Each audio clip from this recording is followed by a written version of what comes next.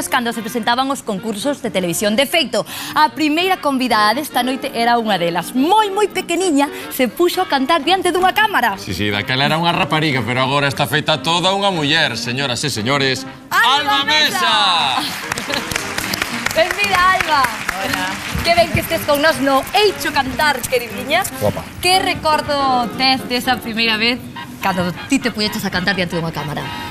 Pois a verdade é que o recordo é mm, a par patético que divertido Porque eu era unha cativa así e iba cun vestido de repolo que me comprou a miña nai eh, De repolo real E empecé a cantar e os 20 segundos a xente empezou a aplaudir E claro, eu que non tiña nin idea deso de que a xente pode aplaudir en medio dunha canción Entendín que a canción xa ter terminara, entonces Fixen así e marchei. ¿eh? 20 Pero segundos. Isto é absolutamente certo. Ah, sí, sí. Entón te foi, Isa? E cantos anos tiñas, Eso foi en Lugo, eh, tiña como 6, 7 anos. 6, 7 anos. Bueno, eu, eu de pequeniña quería verte, se pode ser. E quería facer algunha viaxe no tempo. Non temos unha máquina do tempo por aí sí, ou algo? Sí, sí, o afortunadamente sí, porque así era antes e así é agora Alba Mesa.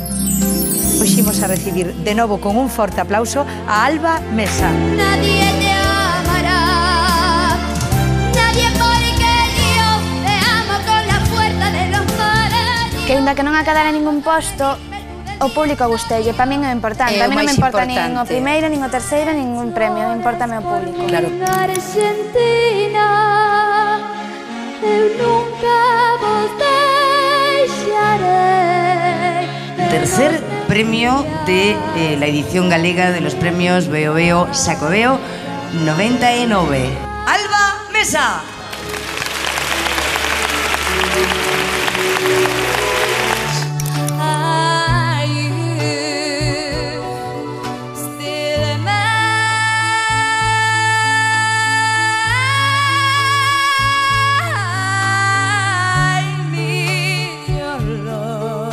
cariño.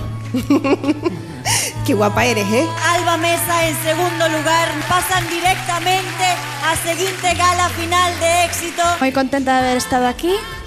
E bueno, sabendo que, bueno, facéndolle saber a toda a xente eh, que vou seguir e vou loitar como loitei hasta agora. Loitando cara ao éxito.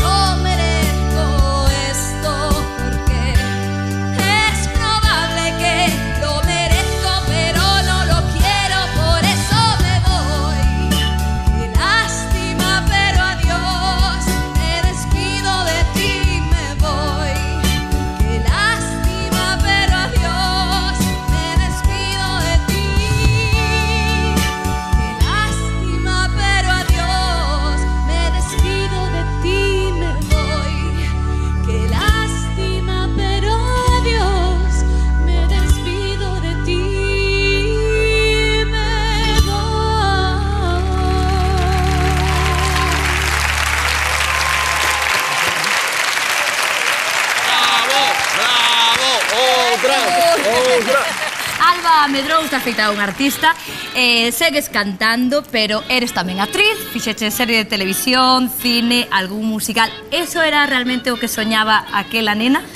Eu creo que sí. Eh, de feito, eu se penso en como en que facía eu, en que xogaba eu cando antes de empezar a actuar na tele ou facendo teatro, que sexa, eu sempre actuaba eh, na miña casa, pois historias que se me que, que inventaba, personaxes, cantaba, o sea, era como un pouco un musical o que facía una miña vida. todo que está pasando ahora como sí, que se está cumplindo. Sí.